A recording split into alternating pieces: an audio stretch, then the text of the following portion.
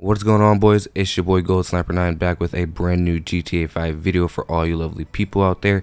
In today's GTA 5 video, I'm going to be showing you how to get the Epsilon outfit. It's pretty easy. Now this isn't going to be super hard, all you guys are going to need about is a thousand dollars. Now in order for you guys to kick this off, what you guys are going to need is going to be a nightclub. That's it, just a simple nightclub make your way over to the restroom. Yes, you guys did hear that correctly. We're going to be diving into the world of fashion from an unlikely starting point. Once you guys do get into the bathroom, what you guys are going to want to do is interact with this attendant right here to start the process of unlocking the Epsilon robes.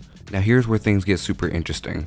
In order for you guys to unlock the robes, what you guys are going to have to do is somehow generously tip this attendant 575 times during one session.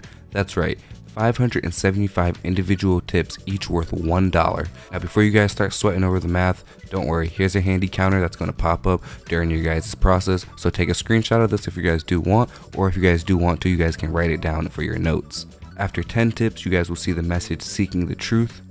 After 155 tips, the message chasing the truth will appear. And then after 575 tips, you guys will be given bearing the truth will be displayed. Once you guys do see this message, you guys can stop tipping the attendant. Now that you guys have given this guy my whole entire life savings, what you guys are going to want to do is celebrate your achievement. Head over to any clothing store in the game. You know those places where you guys can upgrade your style.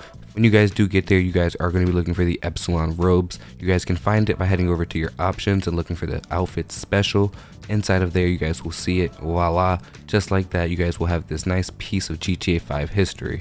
And there you guys go, a step-by-step -step guide on how you guys can get the Epsilon outfit. Hopefully this video wasn't too long. If you guys did enjoy, make sure you guys do smack that like button. A like is always very much appreciated. It's your way of showing me support, and it also does help this video get out to other GTA 5 players. Now with that said, stay grinding. I'll see you guys in the next GTA 5 video.